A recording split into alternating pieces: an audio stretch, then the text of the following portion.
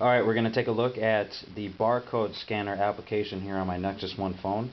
If you have an Android phone, you probably also have this application. So go ahead and check it out after you see the preview here.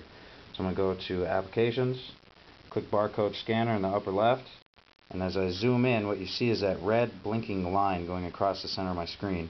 And that's the actual barcode scanner. And so what we're going to do is we're going to take a book, and I'm going to try to line these up so you guys can see. But right there, we've got it lined up. The barcode read it, and that fast, it found uh, the ISBN number, and we can do a product search, we can do a book search, search contents, or Google Shopper. And so let's do a product search just to see what happens. And so it pops us out to the internet here. And it says, we found this book, Flow, The Psychology of Optimal Experience. And uh, MackenzieBooks.com has it for as little as $6.40. We can scroll down. We have uh, Valor Books has it for $15.18. Uh, we also have a used one at Valor Books for as little as 99 cents. I know you can't see it real well, but I'll just keep reading these things out. Uh, $1.99, etc. As you can see. So let's pop out. Let's try searching something else. Let's do the back of a can of mints and see if it can find it.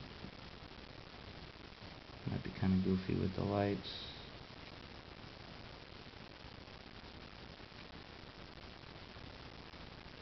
There we go. Found it. Let's hit a web search.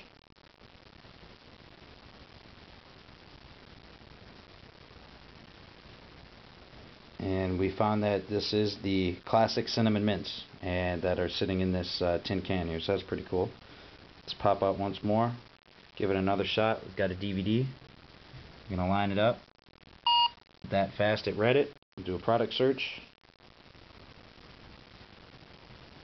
And our barcode scanner is telling us that yes this is Finding Forrester the DVD and it has found it at a link called Waterloo uh, for $8.96 that is a walkthrough through barcode scanner on my Nexus One phone.